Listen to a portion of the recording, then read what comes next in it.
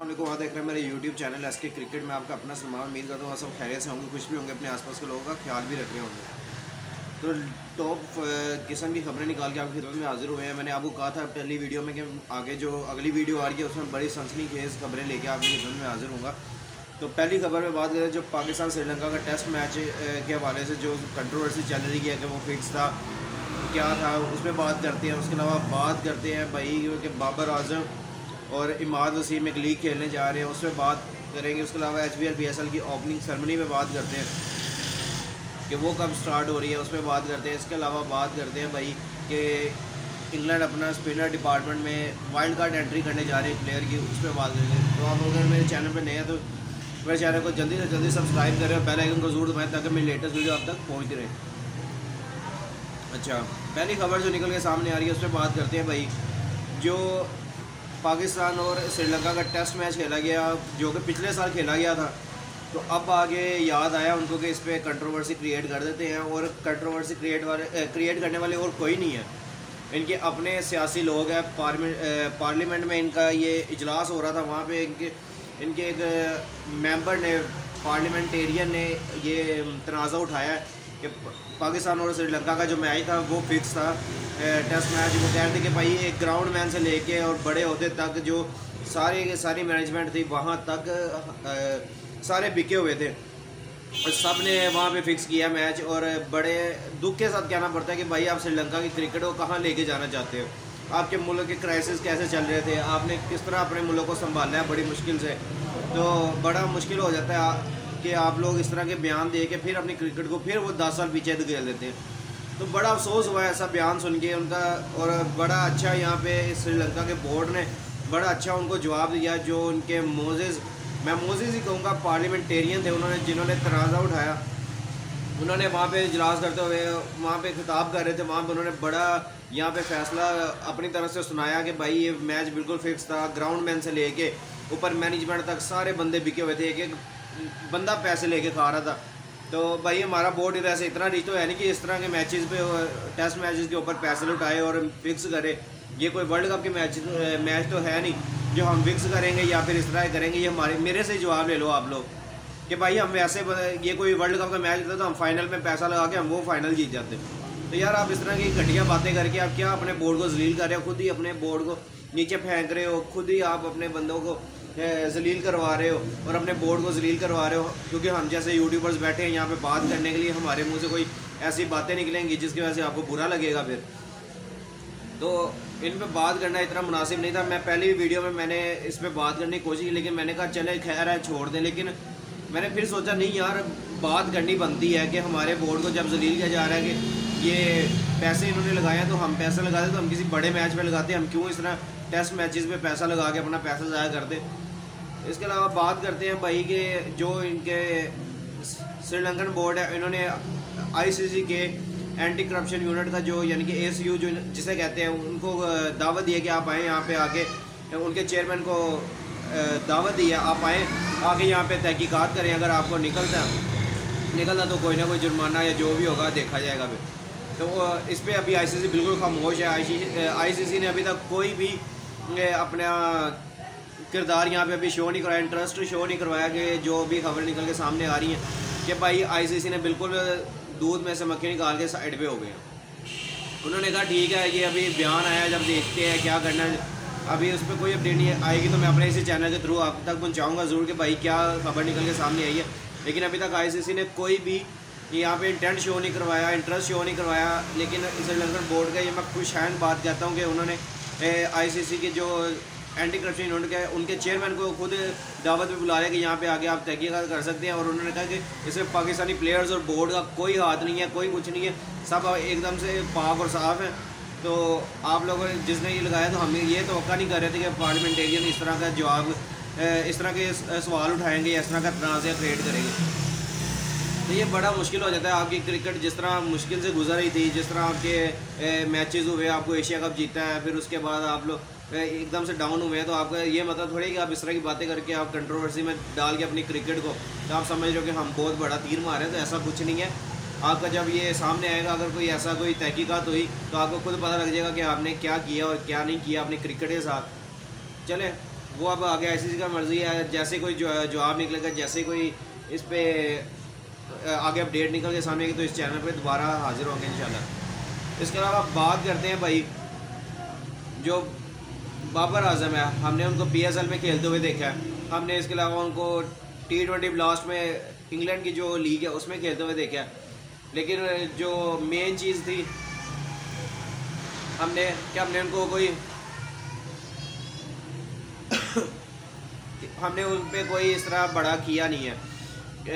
यानी कि उनको बड़े किसी अच्छे लीग्स में या कोई अच्छे लीग्स में खेलते हुए देखा नहीं है। अब उनके लिए खबर निकल ये सामने आ रही है। कि बाबर आज़म खेलने जा रहे हैं साउथ अफ्रीका की लीग, जो कि स्टार्ट होनी है जनवरी में। जनवरी में पाकिस्तान की जो लास्ट असाइनमेंट ख़त्म होनी है, वो पंद्रह जनवरी को जो टेस्ट मैच ख़त्म, उसके बाद नौ फरवरी तक पाकिस्तान बिल्कुल फ्री है। उसके दरमियान में जो विंडो अवेलेबल है, उसमें पाकिस्तान के मायानाज बैट्समैन बाबर आज़म अपनी लीग खेलने के लिए जा रहे हैं। साउथ अफ्रीका, अभी ये वाइल्ड कार्ड एंट्री हो सकती है, क्योंकि बड़ा हाइप क्रिएट हो रही है, इससे साउथ अफ्रीका क्रिकेट को ज़्यादा फ़ायदा है। क्योंकि हमारी व्यूवरशिप जाएगी यहाँ पे, क्योंकि हमारे लाखों क्या करोड़ों फैंस हैं यहाँ पे बाबर आज़म के, वो सारे मैचेस देखने के लिए उनके चैनल्स पे जाएँगे, उनके पेजेस पे जाएँगे। उनको व्यूअरशिप इतनी ज़्यादा मिल सकती है कि वो बैठे बैठे अपना लीग को कामयाब बना लेंगे। इसलिए बाबर आज़म को उन्होंने सेलेक्ट किया इसके साथ साथ इमाद वसीम, जिनका नाम आ रहा है, वो भी साउथ अफ्रीका की ये लीग खेलने के लिए बाबर आज़म के साथ वाइल्ड कार्ड एंट्री करने जा रहे हैं। ये ब्रेकिंग न्यूज़ में आपको शेयर कर रहा हूँ कि भाई वाइल्ड कार्ड एंट्री होने जा रही है साउथ अफ्रीका की। लीग में बाबर आज़म और इमाद वसीम साहब की। तो ये बहुत खुशहन बात है कि भाई इस तरह के जो प्लेयर्स हैं, वो बाहर किसी और कंट्री में जाकर उनकी कंडीशन में खेलते हैं तो और एक्सपीरियंस गेन होता है और उनकी पिचेस का पता लगता है और उनके प्लेयर्स का पता लगता है कि भाई आगे कौन से प्लेयर्स हैं, क्योंकि उनके जो जैसे हमारी बी है हम अपने पी से अपने प्लेयर्स पिक करते हैं, ऐसे ही वो बाकी जो फ्रेंचाइज के बीच में फॉरेन प्लेयर्स होते हैं, वो आगे खेले होते हैं, उनको पता होता है कि भाई ये प्लेयर इस तरह है, ये इस तरह है, ये इस तरह है। हम उन्हीं में से पिक करके जब उन्हें नेशनल ड्यूटी पे लेके आते हैं नेशनल टीम में लेके जाते हैं तो उनको पहले ही पता होता है।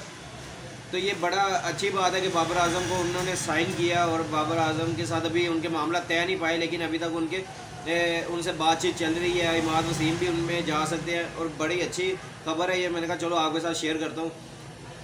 तो देखते हैं आगे क्या इसकी अपडेट निकल के सामने। जैसे अपडेट इससे आगे निकल के सामने आएगी तो इंशाल्लाह उसमें भी वीडियो बनाएँगे और अपडेट देंगे आपको भी। इसके अलावा बात करते हैं भाई की H B L P S L की जो सरमनी है, उसका भी अनाउंस हो चुका है कि वो कहाँ पे होनी है और उनके पहला हाफ़ कहाँ पे कंप्लीट होना है और सेकंड हाफ़ कहाँ पे जाना है। बात करते हैं हम जो H B L P S L की ओपनिंग सेरेमनी उसके पहले कल हाफ़ की मैंने वीडियो बनाई थी, वो आपने देखी नहीं तो जाकर मेरे चैनल पर देख सकते हैं। पंद्रह दिसंबर को कराची में इसका ड्राफ्ट हो रहा है। इसके अलावा जो H B L P S L की जो ओपनिंग सेरेमनी हो रही है, पहला हाफ़ जो हो रहा है, वो हो रहा है मुल्तान में और कराची में, जो पहला हाफ़ हो रहा है। उसमें मुल्तान में ओपनिंग सेरेमनी इनकी होगी और ओपनिंग सेरेमनी में वैसे ही जैसे बड़ी धूमधार कोई सॉन्ग्स में जाएँगी। चले एक मिनट रुके, ज़रा मैं करता हूँ। जो हम बात कर रहे थे कि भाई, पहला हाफ़ जो होने जा रहा है एच बी की ओपनिंग सेरेमनी मुल्तान में इस दफ़ा की जा रही है।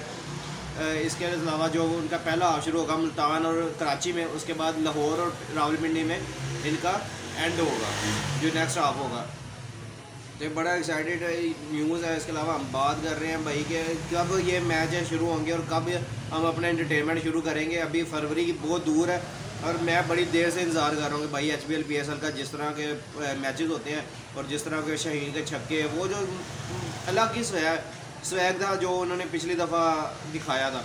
चलें, इसके अलावा बात करते हैं भाई इंग्लैंड अपना वाइल्ड कार्ड एक लेके आ रहे हैं और छोटा वाइल्ड कार्ड इसे कहते हैं ना, कि छोटे पैकेट में बड़ा धमाका लेके आ रहे हैं। अट्ठारह साल के लड़के को लेके आ रहे हैं अपने स्क्वाड में टेस्ट स्क्वाड में, जिसका नाम है रेहान अहमद। वो आ रहे हैं यहाँ पे पाकिस्तान, अपने स्क्वाड के साथ आ रहे हैं, वो पाकिस्तानी याद है, यानी कि भावलपुर से उनका ताल्लुक है और बड़े अच्छे लेग स्पिनर है और बड़ी देर से काउंटी क्रिकेट खेल रहे हैं और बड़े अच्छा वहाँ पर परफॉर्म कर रहे हैं।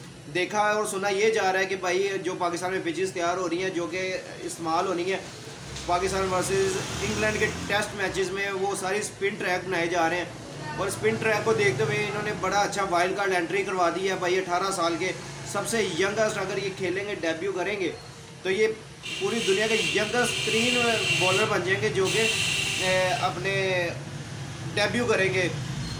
और ये पाकिस्तान के ख़िलाफ़ खेलेंगे। ऊपर से उनका पाकिस्तान के साथ ताल्लुक भी है। तो बड़ा अच्छा देखने को मिलेगा। एक्साइटेड टैलेंट है इनको। देखा मैंने थोड़ा सा यहाँ पे, मैंने इनके विजुअल्स देखे, थोड़ी थोड़े से हैं, लेकिन अभी वो जिस तरह कहते हैं ना कि वो अभी प्रॉपर मैंने इनकी देखी नहीं है। जैसे ही आगे अगर ये डेब्यू करेंगे, देखेंगे बॉल इनकी किस तरह घूमती है, कैसे टर्न कर रही है। लेग स्पिनर और पाकिस्तान का ट्रैक जिस तरह स्पिन ट्रैक बनाए जा रहे हैं। तो इनकी एंट्री बड़ा रोल प्ले करेगी इंग्लैंड की बॉलिंग लाइनअप में। क्योंकि इंग्लैंड की बॉलिंग लाइनअप में अभी जिस तरह आप देख रहे हैं हम कि बड़ा अच्छा इनका जो बॉलिंग लाइनअप है। फास्ट बॉलर तो आउटस्टैंडिंग है इनके पास ना। जेम एंडरसन सबसे बड़े नाम जो है। इसके बाद तो इसके अलावा तो और कोई नाम मुझे नज़र आ ही नहीं ना रहा कि भाई जेम एंडरसन आ रहे हैं पाकिस्तान और जिस तरह उनकी बॉल वो स्विंग करते हैं और जिस तरह वो लेंथ बॉलिंग करते हैं शॉर्ट पिच करते हैं तो बड़ा उनका देख मज़ा आएगा। लेकिन जो ये 18 साल का लड़का ये इंट्रोड्यूस करवाने जा रहे हैं अपने स्क्वाड में तो ये बड़ा इनके लिए अच्छा चांस है कि यहाँ परफॉर्म करें और अपने आप को हीरो बनाएँ। क्योंकि ऐसे ही बाद में आप लोग हीरो बनते हैं, ऐसे ही फिर हम जो भी अच्छा परफॉर्म करते हैं, उनको आगे इंटरनेशनल के दरवाजे खुल जाते हैं और फिर आगे इंटरनेशनल क्या लीग क्या हर जगह पे आपको पता है कि किस तरह ही बड़े बड़े लोग हैं जो इस तरह आए और अपने आप को आज मनवा के बैठे तो हम उनके लिए बेस्ट लक कहते हैं और बेस्ट विशेज़ हैं उनके लिए कि वो अगर डेब्यू करते हैं पाकिस्तान के ख़िलाफ़ तो बड़ा अच्छा अच्छा लगेगा उनको देखते हुए और खेलते हुए। अल्लाह ताला उनका रोशन मुस्तबिल करे पाकिस्तान की तरफ़ से। तो हम इस वजह से कहते हैं भाई, अगर पाकिस्तान की पहचान है तो हम कहते हैं, भाई, उनको अल्लाह ताला इज़्ज़त भी दे। तो इन और भी लेटेस्ट तो इन मिलते हैं नेक्स्ट वीडियो में अपना और अपने आसपास के लोगों का ख्याल रखिएगा, हमें भी दुआ में याद रखिएगा। और जो हम इतनी मेहनत कर रहे हैं तो भाई, जिस भाई ने अभी तक मेरे चैनल को सब्सक्राइब नहीं किया तो मेरे चैनल को जल्दी से जल्दी सब्सक्राइब करें, क्योंकि लेटेस्ट खबरें आपको यहाँ से मिलनी है।